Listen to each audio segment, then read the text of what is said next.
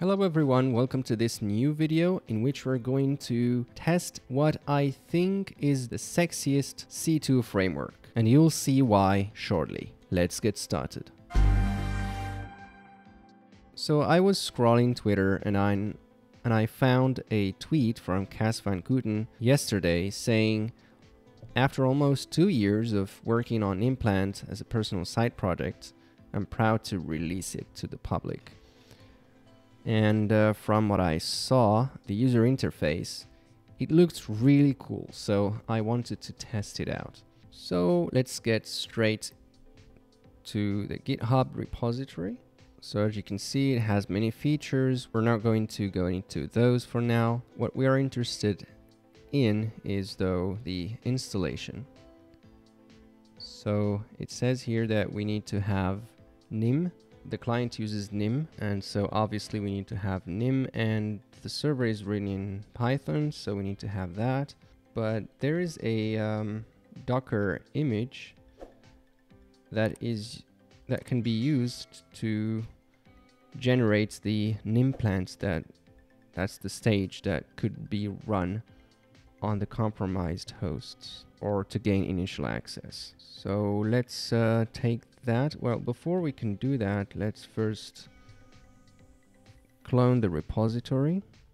And in the public directory, I'm just going to run git clone and then the path. And let's cd into nimplant.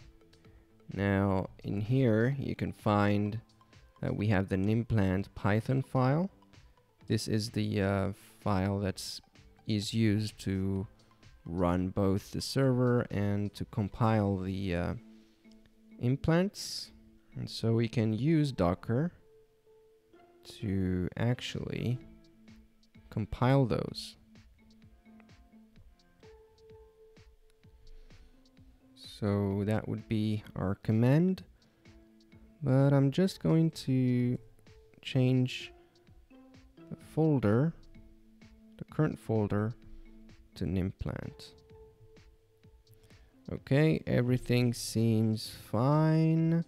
We're going to use the compile command inside um, nimplant.py and generate all the artifacts. That would be the DLL, the shellcode, the exe, and then I guess the self uh, deleted binary. We're going to see that. So give it some time. Um, it says here no configuration file found. And that's because we need to use, you need to have a file called config.toml. So I'm just going to rename that to config.toml and rerun it. We're going to go back into that configuration file, but for now we just want to have something that works. Now for people who don't know what a C2 framework is, C2 stands for Command and Control and it's basically a post-exploitation framework, meaning um, it allows red teamers or threats or threat actors to persist access, uh, move laterally, and achieve their objectives once they get an initial foothold on a system. This initial foothold could be um, a phishing email asking for the user to run a malicious macro or um, HTA file or maybe a shortcut that points to a lolbing, anything that could be used for execution. Once the attacker has an initial foothold on the system, um, they could use this um, access with the C2 frameworks to advance and achieve their objectives. And during the execution phase in a um, phishing attack, for example, payloads generally call back home to the server, which is nothing but this C2. So that's what we're going to do now. We are generating the uh, payloads that once clicked upon or run will connect back to the C2 server. And from there we can run any commands that we want. So hopefully this brief explanation gives you a general overview for people who don't know what a C2 is. So it's taking uh, some time to generate and compile the payloads and that's because I'm also running a screen recording at the same time but generally it doesn't take much. So the benefit of using Docker to compile the uh, payloads is you don't need to have Nimplant installed. Uh, I mean, you don't have to have uh, Nim installed. But if you want to run the server, in this case, you need to have Python and the requirements installed. Maybe we could have a version for the server as well. We, I mean, I might uh, contribute to the project by including a Docker file for the um, server as well. But for now, let's just uh, work with what we have. Okay, so it says here that you can find the compiled binaries in client bin. So if we uh, ls the contents, you can see that we have a bin, a DLL, an exe, and a self-delete exe. So these are the payload that will phone back home. And thinking about that, I actually forgot to specify the address to which um, these payloads will phone home to. So inside the Nimplant folder, uh, we can see that the uh, config toml, I'm going to open it with Notepad. And so here are the different um, configuration fields and one of them is the host name. So you're just going to say, hey, we want you to connect to the local host. I'm running this uh, in a test machine, so I don't bother compromising the same machine where the server is running. This could be any host name um, that matches the redirectors that you have deployed for the red team infrastructure. So with that said, let's rerun our compile command and hopefully we will have some payloads that should phone home once they are run. Okay, now we have the new generated payloads. If we go to client bin and try to analyze it, scan it with Defender. It says here no current threads, but uh, don't count on it. It's only a matter of a short time before Microsoft starts flagging it. So it's not really meant for AV bypass.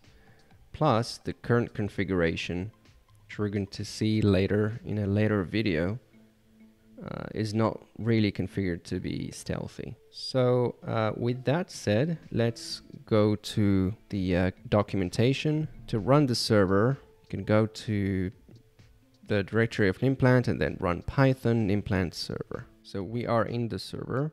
Um, the first thing we need to do is pipe3 install the uh, requirements under the server directory. Install dash F. I already installed them, so now it's just a matter of running Python and then implant server. Just going to name it local. So it says here that the management server interface, which is web-based, is located here. Let's go fetch it. And we land on the sexy user interface. It's a really cool user interface. I personally like it, and I think that all folks in the security industry haven't seen any user interface better than this for any C2 framework. Covenant maybe, but not as sexy as this one. So you can see here the name server is local and it's running on this uh, host, local host, etc, etc. And we don't have any Nimplants, but that's gonna change uh, if everything goes well.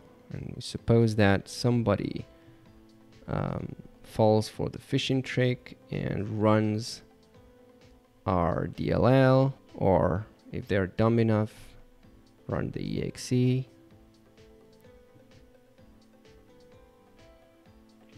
we can indeed see that we have a new Nimplant. If we click on it, we have the console and we have the tab for information. So it's running under the process nimplant.exe. There's no process injection going in on here. And it seems that we don't have the possibility to change that, do we?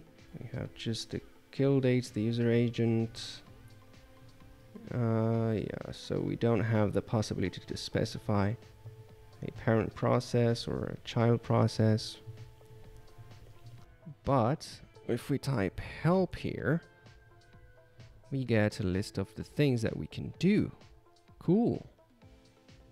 Now, I wonder if I can run something um, like download. Yeah, why not? So download. There's no tab completion, but it has it's a user interface. So you can click on that option and then we specify the path. Let's try um, like downloading a dummy file like C users, uh, nimplant, client bin, and nimplant.exe. Why not? nimplant.exe, run the command, and successfully downloaded the file to the uh, server's directory under downloads and the name. So if we go to downloads, however, we see that indeed we have this file here that we can download right from the server through the API. All right, what are the other commands that we can do? I mean, we could um, run the list of processes with the ps command. And here we have a list of all the processes. Can we actually perform some kind of process injection? So I'm interested in testing the shell inject here, which says here loads raw shellcode from a file and injects it into the specified process using dynamic invo invocation. So the syntax is inject and then the uh, target process ID and the local file path. Um, let's uh, let's take for example this one 2012 and then the path uh, that would be the shellcode from the generated payloads. For example here we can say we want to run this shellcode just to test if this shellcode works. Nimplant.bin and hit enter. There's no auto scrolling but hey it's a web interface. So injecting shellcode into the remote process. Oh, it failed. I think we don't have the enough permissions. Uh, there's a cool feature which allows you to go back to the uh, old commands by just hitting the up arrow, which I think is cool. Um, let's inject into this one. Okay, it seems that it worked, but did we have any new implants? Yes, we get another one, this time from conhost with the chosen process ID. So it seems that it's uh, working uh, as expected. User interface is definitely slick and um, I can't wait to explore this even more and see what we can do to customize it and play with its configuration. I hope you do too. And uh, if you find um, interesting, cool tricks, then don't hesitate to drop me a comment. When I'm done with these, I can simply type kill. And let's do the same for the second one. And off they go. Perfect. See you in another video. As always, stay curious, keep learning, and go find some bugs.